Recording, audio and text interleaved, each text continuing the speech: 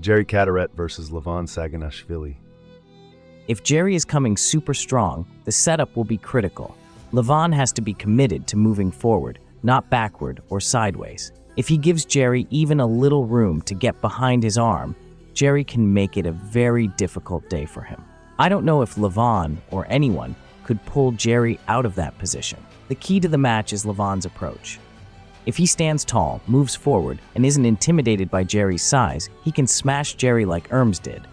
But if he's slow, off the start, and tries to lazily back pressure top roll Jerry, he's in trouble. It's going to require more forward pressure than back pressure. If Jerry gets his fist into his pec, tight to his body, it's very difficult to get him out of that position. I can see Levan having a hard time. For Levan, shoulder pressing Jerry is easier and safer than top rolling him. The worst thing for Levan is to make a mistake, top rolling, and getting stuck in a long match. Levan needs to concentrate on the center of the table and not let Jerry get off the top. The safe bet is still Levan. He's the strong favorite. But I wouldn't be surprised if Jerry does to Levan what he did to Kurdecha. Brian Shaw versus Eddie Hall. Brian seems so powerful, with such a big and long frame and strong hand that I wouldn't even try to top roll him. It takes him longer to build his frame and be stable side to side. The easier approach for Eddie is to go wrist to wrist. If Eddie has the framework to do that, I think that's the approach he should take. Neil Pickup has been showing Eddie this back pressure thing, but I don't think that will work against Brian. I've seen Brian training, and his ability to come across the table and his hand and wrist strength will shut that down completely. Brian is tall, with strong hands and long limbs, so it will be very difficult to top roll him. It will be easier to hook him and see how stable his upper arm is sideways. From what I can see, it looks like to me Brian is going to win. He'll be able to control Eddie, and especially if Eddie just tries to top roll. If he does what he's been showing in his video footage of just going back pressure, I think Brian will easily shut that down. Brian looks very comfortable when he gets slightly behind his arm. As long as he doesn't rush, he can take it to a point where Eddie gives up. Gabriela Vasconcelos versus Barbora Bajciova. I know both ladies, but I can't predict this match. It's difficult for me to even analyze because I don't compete in women's arm wrestling. I've pulled a little with Gabby, but I honestly can't comment. Sandris Sedis versus Rustam Babayev.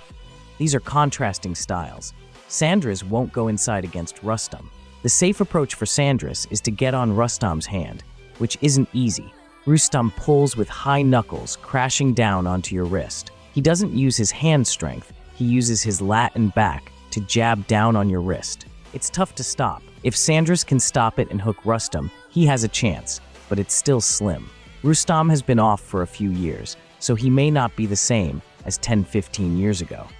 I'd love to see it go wrist to wrist for Rustam to use his power. If Sandra stonewalls him with a high hand top roll and Rustam can't get in, it won't be as enjoyable. Dave Chaffee versus Gabor Bada Dukat. Dave Chaffee, in my mind, is still top of the heap if he's healthy. He's one of the top guys. I'd love to see him pull the winner of Jerry and Levan. He struggles with his hand and wrist and gets worn out, but as far as pure horsepower, side pressure, and strength off the go, there's no one as strong as Dave. I don't know Gabor, but if he's able to do anything with Chaffee, kudos to him. Lachlan Adair versus Lars Rorbakken. Lachlan has definitely gotten better. He's training like a madman. He's right there with the top guys. He had a close match with Krasimir Kostadinov. Lars lost to Michael Todd and Matt Mask. I don't know where this one is going. Lachlan probably won't attack Lars's wrist, so Lars's flop wrist press won't be a factor. It will come down to who has the stronger arm. With two shoulder rollers, it's about confidence and timing. Who gets there first? I think it's a close match. It's about who is brave enough to put it all out there first. Matt Mask versus Marcio Barboza. They've pulled before. Matt has the advantage in frame, size, hand, and top roll. Marcio is more aggressive, relies on speed, and hits hard. If Marcio is aggressive and keeps his hand from being turned and hits his posting top roll perfectly, Matt will go down. But if he doesn't, Matt has the advantage. If it goes inside, Marcio wins easily. Matt isn't as strong or stable inside. He relies on his long arm, hand strength, and size for his top roll. Matt risks being flash pinned by Marcio, who depends on proper wrist positioning, hammer strength, and pulling with high knuckles. A dangerous style for Matt. Corey West versus Tobias Sporong. Tobias is a big long guy with a great top roll. Corey is one of the most difficult guys to top roll, so Tobias might have a problem. If Tobias can't top roll Corey, I see Corey winning. Even when Corey has control in first rounds, he can get worn down, like against Alex Kurdecha. Tobias needs to be ready for that. Corey's hand and wrist are still ridiculous to deal with. I'm going to give Corey the edge. I have to root for the home team. Paul Linn versus Krasimir Kostadinov. Based on last matches, you'd think Paul has the advantage. Paul is more explosive and dangerous off the start, but Krasimir is more of an endurance guy, comfortable holding and staying calm, even in a losing position. Paul needs to decide if he wants to be super aggressive and go full throttle, which wears you out, or maintain a good position, outlast Krasimir, and occasionally blast when Krasimir is out of position. If Paul goes in full throttle, it might be dangerous if Krasimir stops him. Paul just has to know that if he's not pinning easily, he has to go into long distance mode. Kevin Palco versus Joseph Maranto. I know how strong Joseph is.